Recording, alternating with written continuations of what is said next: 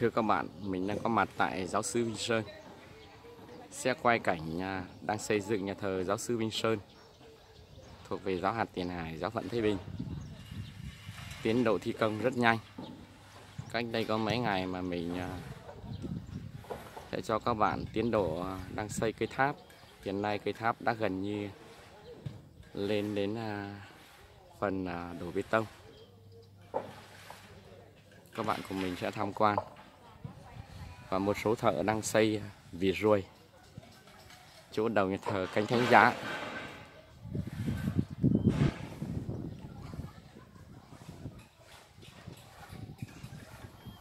Thưa các bạn, là nhà thờ đây là nhà thờ sau này trong tương lai là không trát. Xây gạch không trát. Và ngoài sẽ cột bằng đá. Các vòng quấn bằng đá, núi hết.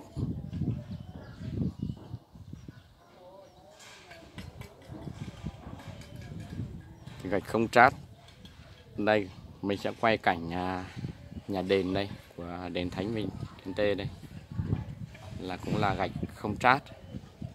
Nhà thờ sau này là cũng lên theo cái mẫu à, nhà đền này là không trát. Miền Nam ta gọi là không tô hồ.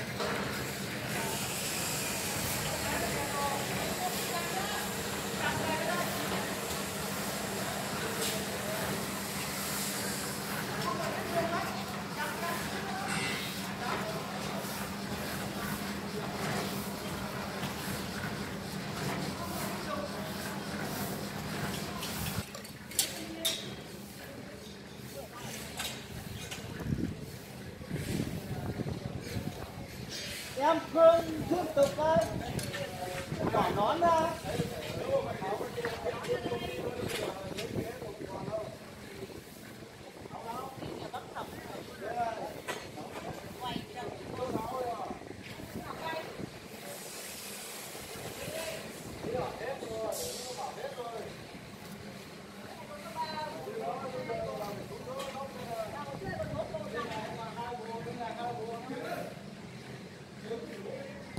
Cà nó đang bán ráo cũ kìa